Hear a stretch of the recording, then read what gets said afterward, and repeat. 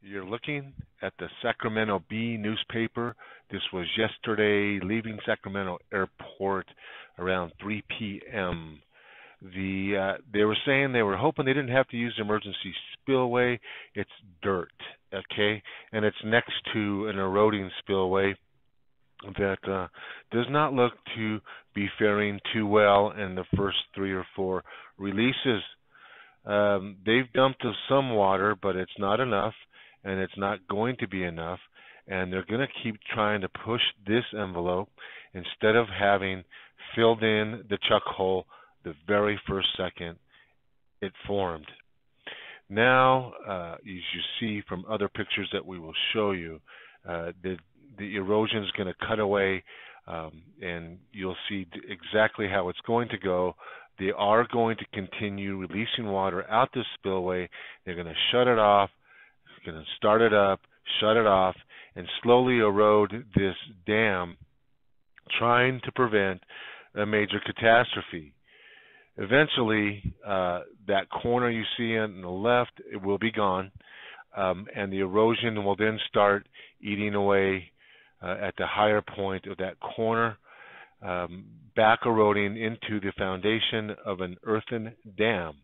And if you look at the history of earthen dams, uh, some of your most catastrophic events occur in earthen dam, but you can see what I mean. That they got a chuck hole here. They know exactly what's going to happen when they release more water. Uh, they could have filled that in. Uh, they could have been on the phone the minute they saw it uh, and worked through the night, and they could have filled that chuck hole up, and it could be almost set by now. Um, but this reservoir, as you see from the air, um, is uh, this is pictured at about like 40%, 50% of the lake uh, level, but now it's at 97%, 95%. I mean, it looks that high to me. Uh, they're saying 94%, um, but the bottom line, it's filling by about 1% per day, and that's with the releases. What they didn't factor in is first they they expected a huge melt from the rain, but then it, it froze way up high, and then they didn't. They're not calculating the intense radiation coming from the sun right now, and now the melt is like epic. So they're they're they're playing follow the leader. They're chasing a rabbit. They're um, on a wild goose chase, and at risk is just millions of people. That's all. Um, and we put out a video. We were called fear mongers. Of course, we are going to get called that.